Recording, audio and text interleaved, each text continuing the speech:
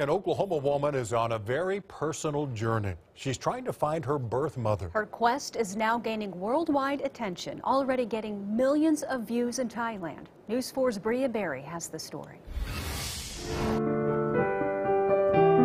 I started taking piano lessons early, at an early age, when I was eight years old. Christy Sincera Hudson has a passion for telling stories. Who am I? At the core of me, I'm a writer, for sure.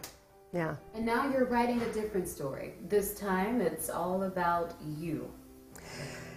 Yes, I mean it's a it's a crazy and exciting story. I'm writing. And this time she's composing a chapter in her own book. I've been trying to figure out the pieces of my adoption for I mean my entire life. It was 1975 when Christy was adopted in Thailand. Her adoptive mom and dad were stationed in Guam. And then they found out that there was like a little orphanage, like kind of like a home in, um, in Bangkok. And so they took a military hopper over there and um, ended up finding me and decided that they wanted to adopt me. These are all my cousins. My and they brought their baby home to Moore. Christy grew up in Oklahoma. I never had any physical paperwork or anything.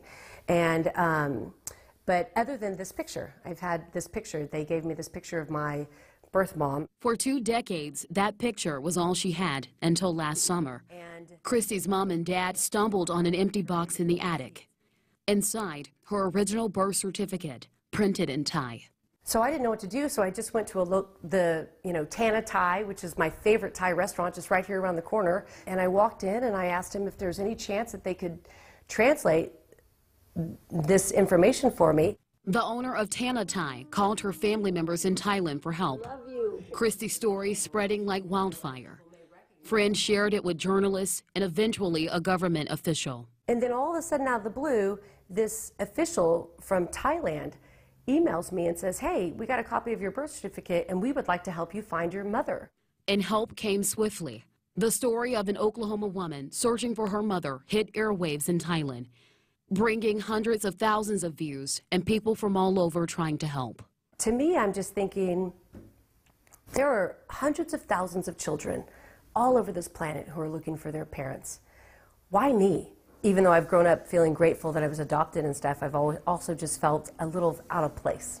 You know, maybe what I'm looking for is to feel like I have, like I found my place in this world. I don't know.